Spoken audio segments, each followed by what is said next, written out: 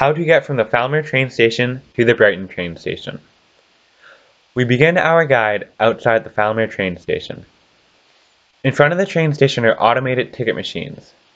Inside, there's also a manned ticket office with an attendant during regular business hours. Here we show you how to use the automated ticket booth to buy a pretend ticket to London.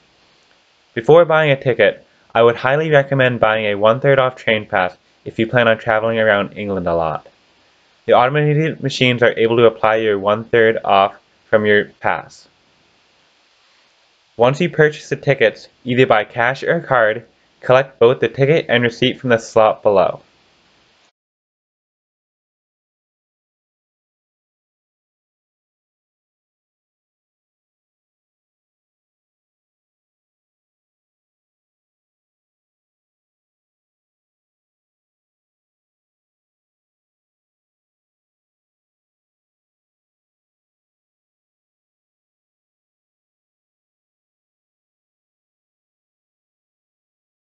Once you have your ticket, walk into the Falmer train station.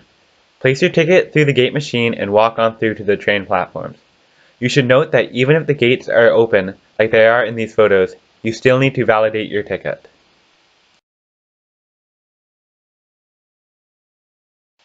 Here are some photos of what the Falmer station platform looks like. If you are planning on heading to Brighton, you need to cross the bridge and wait on the far side.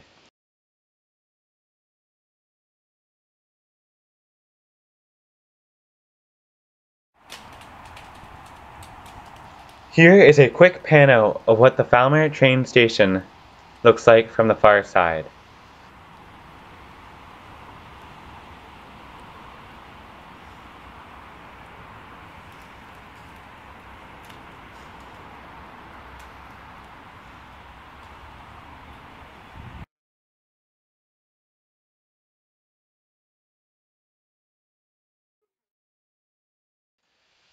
We have arrived at the Brighton train station.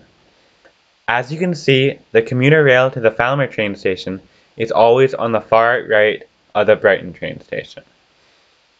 Now just walk to where you can see the gates with the green arrows above.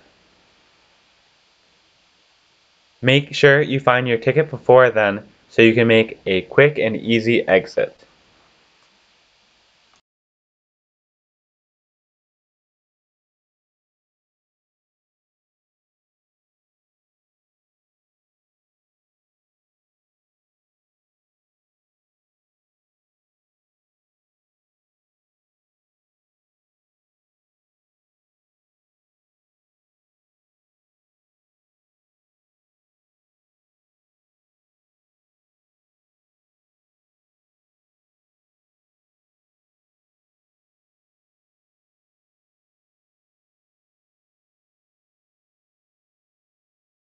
If you are continuing your journey to perhaps London or another English city, go to the far left of the station.